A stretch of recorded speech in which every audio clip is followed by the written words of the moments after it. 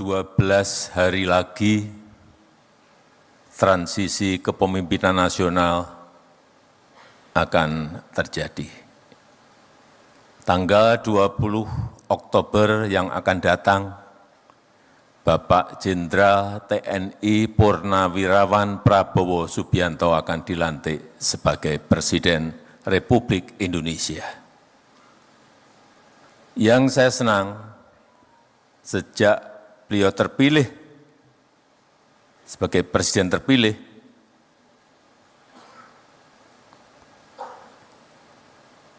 persiapan menuju ke pelantikan itu betul-betul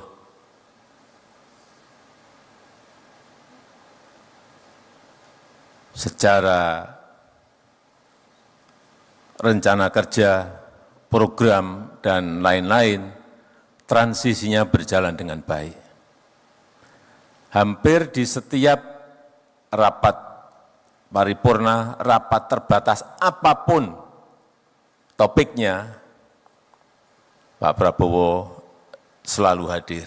Kalau sebelumnya hanya untuk urusan pertahanan, tapi setelah menjadi presiden terpilih, di semua rapat terbatas, rapat paripurna selalu hadir sehingga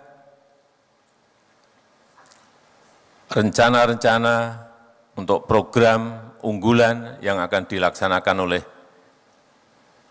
Presiden Prabowo itu betul-betul disiapkan dengan baik dengan menteri-menteri yang sekarang.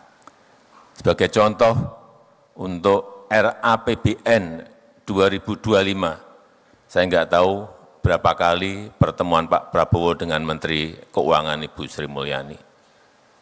Hampir setiap minggu, hampir setiap hari bertemu untuk mempersiapkan itu. Artinya apa? Seperti tadi yang disampaikan Pak Enggar,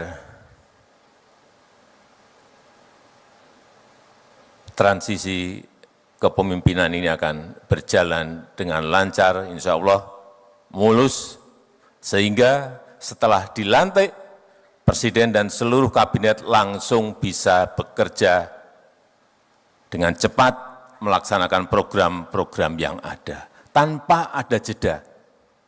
Saya 2014 butuh waktu satu sampai satu setengah tahun untuk mengkonsolidasi.